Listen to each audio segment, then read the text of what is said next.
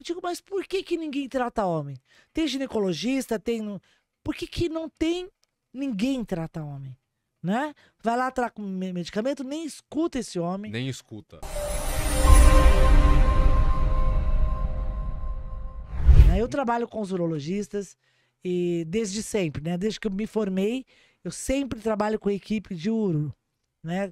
Eu fui para uro quando ninguém falava em trabalhar com as dores dos homens sexuais. E eu comecei a ver que os casais tinham muito problema e que os homens não eram respeitados nem vistos. Ninguém olhava para esse homem. Eu digo, mas por que, que ninguém trata homem? Tem ginecologista, tem. Por que, que não tem ninguém trata homem?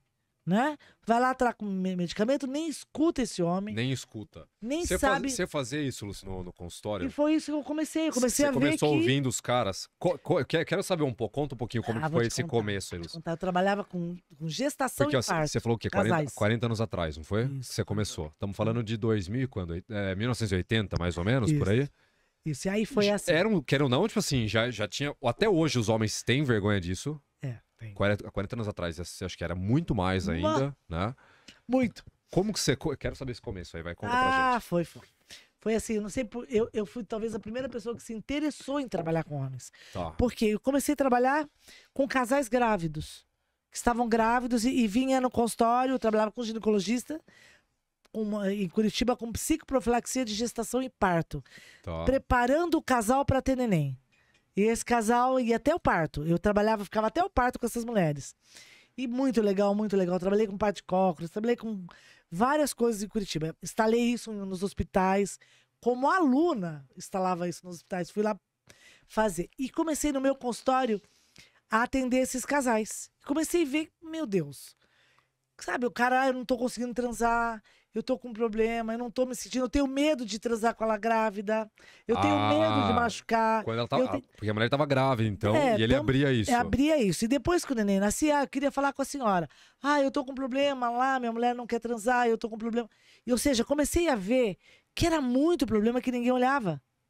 Falei, bom, mas que, onde eu vou procurar isso? Não existia nada no Brasil Pra ajudar esses caras. para ajudar esses caras. Aí tinha o primeiro curso de sexualidade, né? Que na verdade era um curso de especialização. E eu fui fazer esse primeiro curso. Foi a primeira turma de sexualidade que, né, fui trabalhar com, com isso e fui aprender. E eu fui dentro da, da com os urologistas e com os ginecologistas. Comecei a trabalhar com eles ali, ficava com eles em equipe, trabalhando em grupo, estudando em grupo, para desenvolver esse trabalho com os homens. Como psicóloga, eu conseguia ver esse homem no geral. Na questão sexual, eu precisava de técnica. Eu precisava de alguma coisa. Né? Eu sabia as outras técnicas como psicólogo, eu ajudava esse homem. Só que eu Tá. queria ajudar muito mais.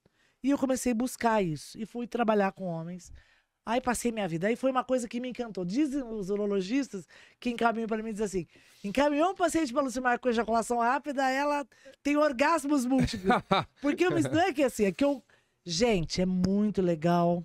É extremamente gratificante devolver a esse homem uma segurança, uma condição de vida sexual. É saúde. Tá totalmente ligado à saúde. Esse homem não adoece. Esse homem fica feliz. Esse homem tem uma vida conjugal legal, boa, com qualidade. Ele vai trabalhar com qualidade. Então, muda a vida desse homem. Totalmente, totalmente. Né?